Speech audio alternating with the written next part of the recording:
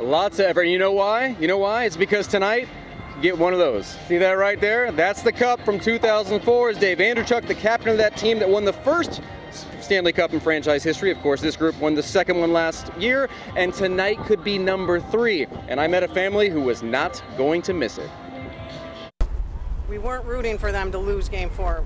No way. A sweep would have been nice, but winning a Stanley Cup on home ice, now that's something you can't put a price on. I could make more money. I can't watch them play the Stanley Cup here again. Wayne Hurtle and Rose Doxbeck dropped big bucks to see their beloved Bolts tonight, buying spur of the moment plane tickets, game tickets, a rental car, and hotel to get from Buffalo to Tampa for game five. We flew from Charlotte into Orlando, and then we drove from Orlando into Tampa, got in late last night. Just before Elsa arrived, but not even a hurricane could keep these fans away, not with a chance to see the Lightning lift Lord Stanley for the second year in a row. I feel that they're gonna they're gonna win just because I believe they that's how bad they want it. So they will win, and we will get to see it, and that'll be amazing. And this will be an amazing memory, right? Yeah. Oh yeah, without a doubt.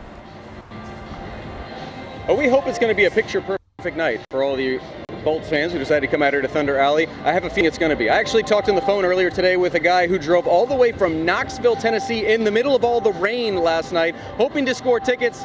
Couldn't get them. But he did end up going to the doubleheader at the Trop, so he did get to see some sports. He's going to watch the game with a couple of buddies in Gulfport. The fans are invested. I think we're going to have a really special night here in downtown Tampa, Ryan.